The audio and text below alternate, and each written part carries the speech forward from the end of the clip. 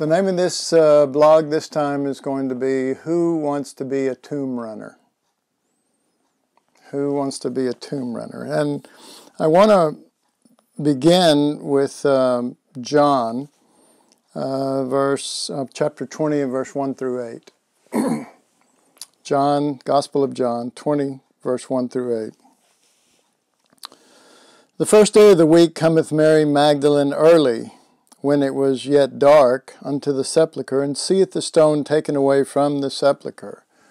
Then she runneth and cometh to Simon Peter and to the other disciple whom Jesus loved, and saith unto them, They have taken away the Lord out of the sepulchre, and we know not where they have laid him. Peter therefore went forth, and that other disciple, and came to the sepulchre. So they ran both together, and the other disciple did outrun Peter, and came first to the sepulchre. And he, stooping down and looking in, saw the linen clothes lying, yet went he not in. Then cometh Simon Peter, following him, and went in to the sepulchre, and seeth the linen clothes lie, and the napkin that was about his head, not lying with the linen clothes, and wrapped together in a place by itself. Then went in also that other disciple which first which came first to the sepulchre, and he saw and he believed. Um, I want I'm going to change this story a little bit from being a pre-gospel story to a New Testament story. And here's what I mean. These guys didn't know anything about the victory of the cross at this stage. They didn't know anything about uh, being dead with Christ. They didn't know anything about Jesus being our life and they uh, and Christ living in us. They didn't know any, hardly any of the things that we take for granted. Um, so what I'm going to do is I'm going to take this account and I'm going to put it in the context of what if these guys did know? What if they actually knew what they were running toward and running for. And um, just so you know, we actually have ample scriptures, some of which I will um, relate to uh, to this story as we go along, that talk about running and about going after the Lord in this in this manner. So um, they ran to the tomb.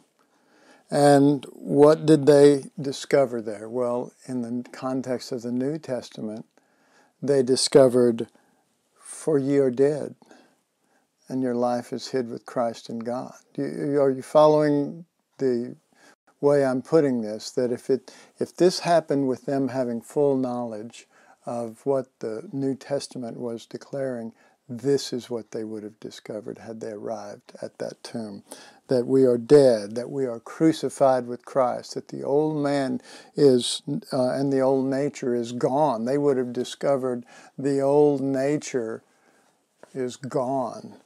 and so, um, so let's see. Um, my thought was, uh, I noticed how they both ran together. It says, and John got there first but he didn't go in.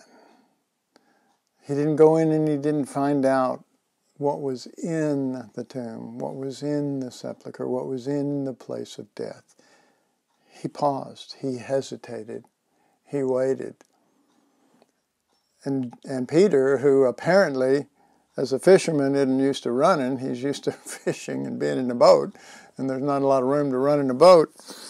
He was a little bit behind and when he got there, he didn't hesitate at all. He went into the place of death. He immediately went in and uh, went in to discover Jesus. He didn't just go into any old tomb, he didn't just go into any old death. He went into Jesus' tomb and he went in to discover Jesus and the reality of Jesus. And particularly if you're keeping this in a New Testament reality where they, they understand these things and they're pursuing them and they're running after them.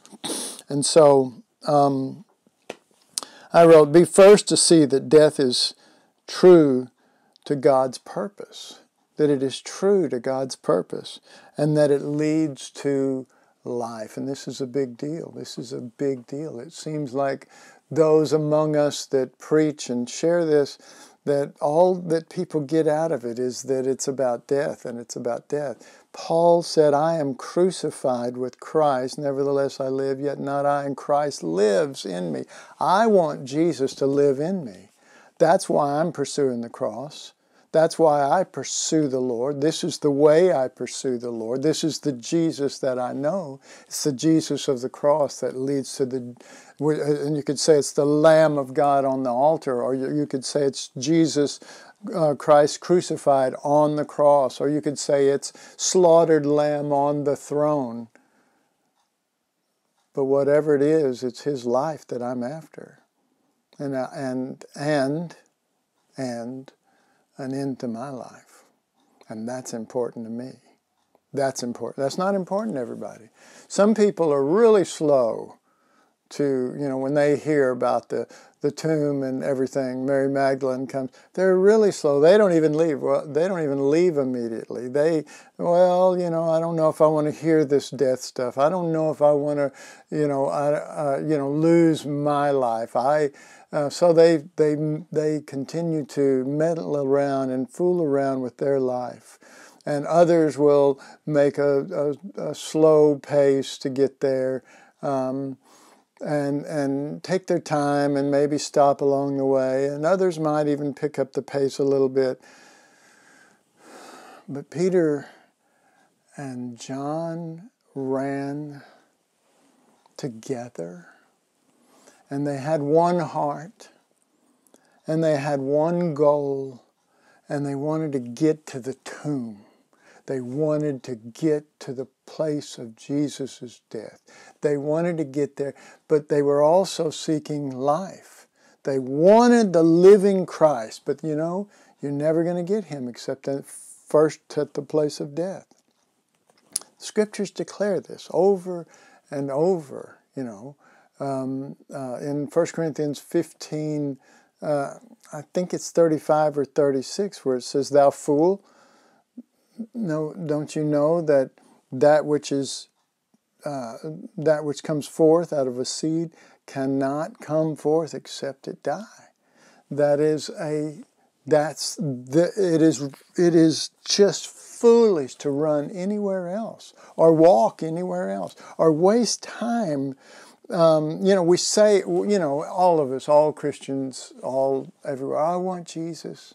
I want Jesus, and I want your life, Lord. And, you know, and I know we're sincere and everything. There's only one place we're going to get his life, and that's at the cross. There has to be a death, and that death has to be ours with Christ, not just our death. We're not just trying to die, we're not just trying to put ourselves to death. It is at the cross with Christ, and it is buried by baptism into death so that we run to that tomb and we go, This is my hope. This is where my life is going to spring forth. This will be my spring. This will be my resurrection. It's Jesus and it's and it's his life and it is no longer I. And see that's that's it. That's it. Uh, and uh, what was it? Uh, also in Corinthians, uh, Paul talked about this and he said, bearing about in the body the dying of the Lord Jesus, that the life also of Jesus might may be made manifest in my mortal flesh. There is, it is just wrong. It is deeply wrong to talk about wanting Jesus to come out of us without wanting Jesus' death. That's just wrong. It's wrong. It's wrong teaching. It's a wrong spirit. It's everything about it is wrong because it leaves out the core reality that seed dies, that life springs forth, and there's your spring. You leave that out, it's still you. You can call it Jesus. You can call it holy. You can call it of God. You can call it anything you want. But it's you. And God knows it's you, and the Spirit of God knows the difference. For God's sake, He, he doesn't come down, He didn't come down and land on John the Baptist. he landed on Jesus. Jesus was the one who went into death, you know, baptism into death. Jesus is the one who went down into death, not John the Baptist. And so the dove, He always comes on Christ crucified. See, He's always there. He's always hovering, waiting, waiting, waiting for our heart to get in the right place and waiting for us to pick up our pace. Pick up our pace. Maybe we're not fully ready. Maybe we've got our hesitances and we've got our fears and everything, but pick up the pace. Start running toward the tomb. Be a tomb runner. Start running towards that death because that's where you're going to find your life. That's where you're going to find your reality. And, uh, and when I say your reality, your reality is not in you. Your reality, you're, if it is, you're the wrong reality. You are the wrong one. Your life is meant to be bound up in a bundle with His life. And, and your, uh, your apprehension, you know, we use the word identification. Forget identification. Jesus is your life. Just forget trying to identify with that and start getting into the, the cross and into the tomb deep enough that you go, oh my God, he didn't just die. I'm not just running to see if he died and now he's up. I, I am there to discover my death with him so that I can d- discover his life in me in me, the life I now live in the flesh.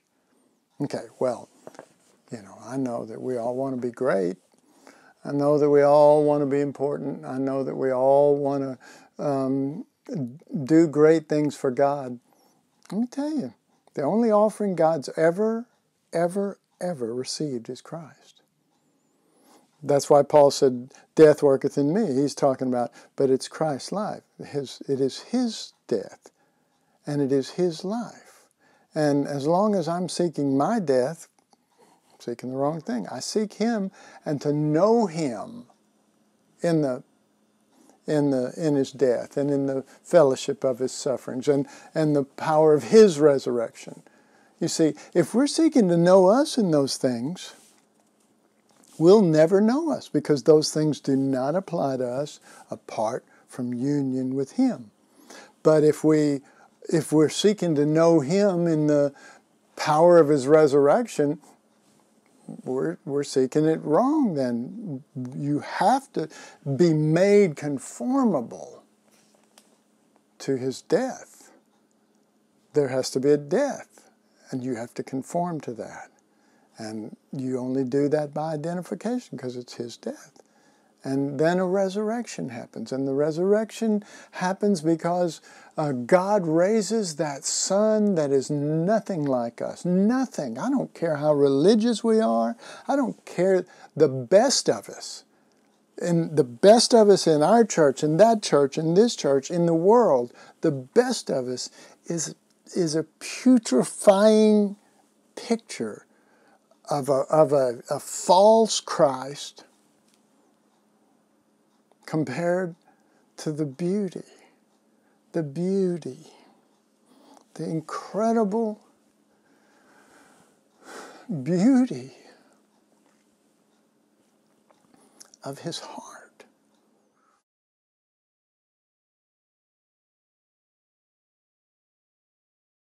It was just this fact of I want the life of Jesus. I want more of the life of Jesus. And why don't I have more of his life? Why, what is wrong with me? Why don't I have more of his life? And the Spirit of God would say, You do not have more of his life because you don't have more of his death working in you. You are still pursuing something that is not you and calling it you. You are, you are pursuing a, a reality for you that is never, ever going to be you. It's Him, and it's you and Him. Oh, to know Him, Paul said again, to know Him in the power of His death, in the fellowship of His sufferings, being made conformable to His death. Sorry, the first one, the power of His resurrection. All of it His and Him. And see, that's the key. It's not just his death, and it's not just his resurrection, and it's not just his suffering. For us, for him, it was his. He did it all. For us, it's not his, it's him. It's him. It's oneness into him, or or we're still making it his and us over here, and that's mine, and okay, that's me, and we're still we're still we're still doing this thing where you know there's two, and we're like an earthly marriage. The two should be one, and Jesus says there ain't no two in this union. We are one, one life, one God, one Father, one body, one everything comes down to that, or it doesn't come down. It's just another form of Judaism, of, of, of going after God, seeking God, praying, reading our Bibles, attending services. Um, but where? Where will, will that heart come from? Um, I wrote here at the last. Um, who will go to the place of death first? Because, okay, can I tell you who's going to go to the place of death first? I'm going to tell you. I'm give you. I'm going to give this big secret away. The person that is going to run and get to that tomb and go in first is the person that believes the strongest, the most clear, has the most absolute clarity that going into this tomb and going down into this tomb is going to lead to his life in me. So I'm running with all my heart to get to Jesus. That's who. That's who gets there first. See? And the dawdlers and the people that are just playing at it and whatever, okay, well, you know, we'll be forever trying to correct the ills of carnal Christianity. But to but to find those that are, you know, who will be, I, I wrote, who is in a hurry to get to the tomb of death? Okay, well, the next one, who wants to live by the life of Jesus? Who wants to live by the life of Jesus? That I may know him. That I may know him. Not that I may know me. I've said that. I know. I'm repeating but I want to know Him. And and uh, when it when the reality comes that there is nothing, there is no Christianity, there is no God religion, there's only Christ. And the book of Hebrews comes swooping in and it says, okay, you saw the religion here, it was a picture of Christ. You see it here, you see priests, you see temple, you see offerings, you see uh, Moses, you see uh, journeys, you see, you know, it's, it's like, forget it. It's all Christ, and our goal is wrapped up, and I'll end with this it's wrapped up in Jesus' prayer when he was about to go to the cross. And it was John 17, and it was the deepest prayer of his heart. Father, that we may be one, that they may be one with us, even as we are one. That there might be a oneness that is so real between me and them that we already have, that's so clean and pure that we already have. And I, I want them in oneness. All right. Again, we can answer that prayer request for him. Instead of him answering our prayer request, we can answer that prayer request. We can say, That's it, I'm running now.